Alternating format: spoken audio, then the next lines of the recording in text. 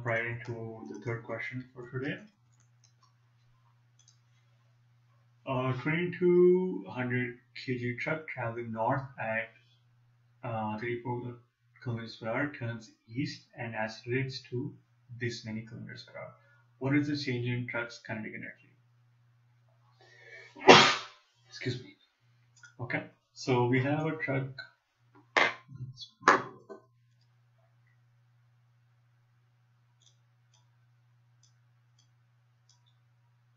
Okay, so we have this is the north, south, east, west. So north, south, east, west. Uh, truck is initially traveling north at 32 kilometers per hour.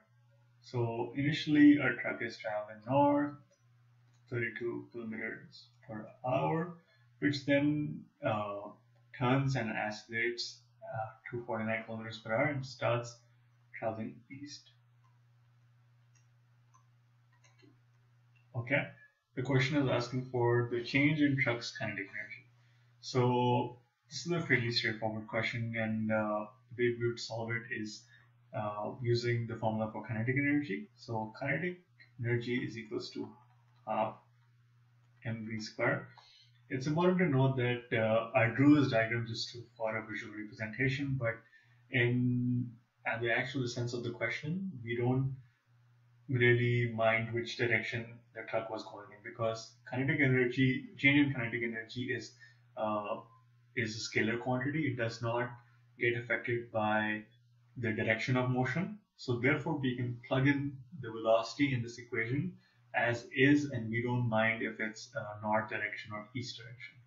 So therefore change in kinetic energy is equals to kinetic energy final minus kinetic energy initial which is equals to half mv2 square minus half mv1 square so we basically get E equals to half times 2200 whole multiplied by V2 which is 49 49 square minus 32 square. Okay? So square minus 32 square times 2200 divided by so it's a big number, so we would, aha, actually, I just noticed one thing, which we do need to do, is conversions. So since the unit of energy is in joules, which has the standard units meters per second, we need to convert this as well before we proceed any further. So the conversion is as follows. We go from uh, 32 kilometers per hour. One kilometer has 1000 meters. Oops, it should be there.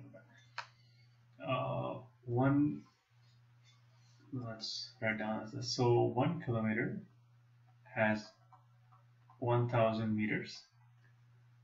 One hour has 60 minutes and one minute has 60 seconds. Therefore, this 32 kilometers per hour becomes 32 times 10 divided by 36, uh, 8.88 meters per second.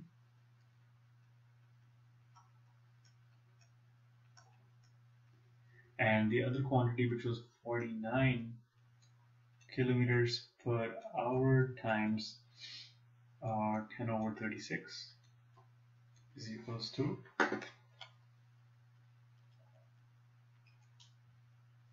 Thirteen point six uh, meters per second.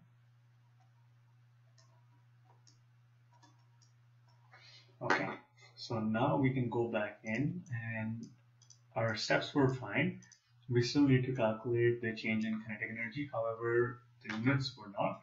So this would be V2 would be 13.6 square minus 8.88 8 square. Okay, so from that we get 13.6 square minus 8.8 square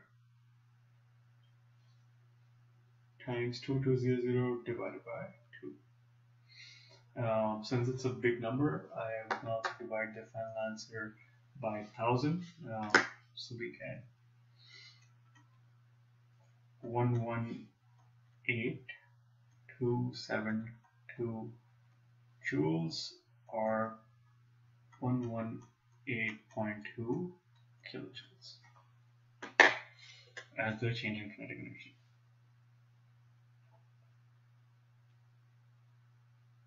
Okay, um, I'm not sure why there is a bit of a difference, but I think that might have to do with them using additional uh, decimal points. I think two decimal, one decimal point is usually fine. Okay, so the, I would say the answer is correct.